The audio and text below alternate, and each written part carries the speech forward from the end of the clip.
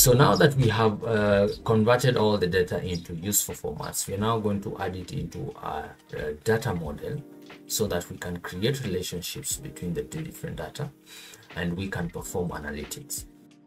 So these are the company objectives. They want to see how much, how many orders they raise. They want to see how much they spend on procurement. They want to compare their procurement spend versus budget. They want to see who suppliers are performing well.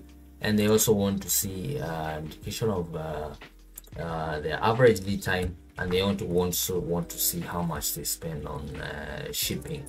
So these are the objectives of our analysis. And eventually so this is the dashboard that we're going to uh, design.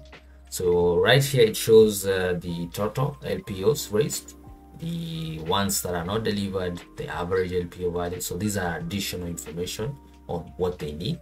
Then there is the budget there's this procurement spend and below that we have how much uh, of that is uh, how much budget utilization they made. Then they also have uh, we also have a shipment cost summary.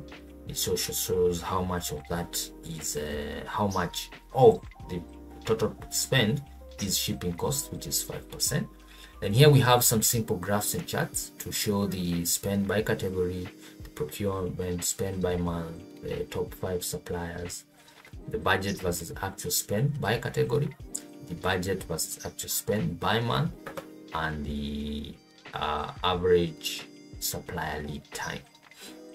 So this is just simple dashboard.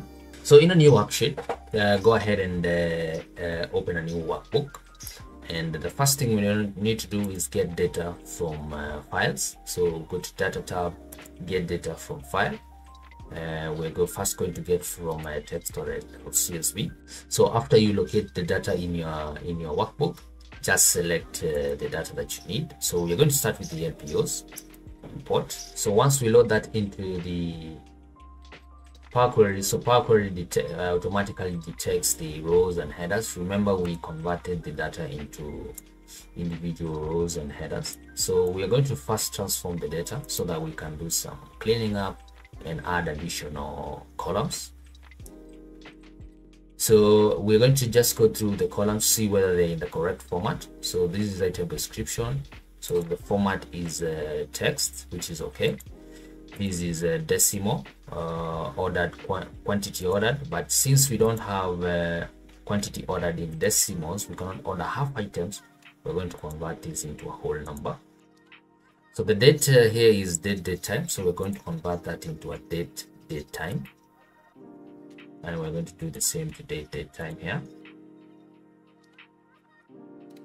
And then the quantity supplied is a whole number supplied value. Is decimal number. Supply name is a text. Shipment cost is a text is a decimal number. Or currency you can also use currency. Let's also do that for the supplied value currency. And then we're going to order status is open. Then we're going to add a column which is the uh, the lead time. So select the supply date then the order order date in that uh, in that order. Then we're going to add come to add column and uh, date time. From the date time we have an easier way of subtracting days so that we can add the subtraction which we're going to call lead uh, time. And then we're going to uh, push this over to the left here we need to add an additional column which is going to add the shipment cost and the supplied value and the supplied value to give us the total procurement cost. And then we're going to insert a standard and add the two. This is called the total total cost. So that gives us the total cost of supply which is the shipment uh, uh, supplied value 650 and the shipment cost if there's any. And with that we can now rename uh, it's renamed correctly and then click on load to. So you can either load them into a table but since we already have the data externally we only want to create a connection and add it into a data model and click ok. So next we're going to load the budget so get data from file from a workbook from the budget report and we just want the budget table uh, transform to make sure that all the columns have the right formatting. So this budget is a currency press current and we don't need it to be budget 2 we just need to be budget okay month here these are texts there's a number correct? So just uh, click and load to and we want to load this to the data model. So then then we're going to load the item and uh, let's transform this data to make sure that everything looks okay.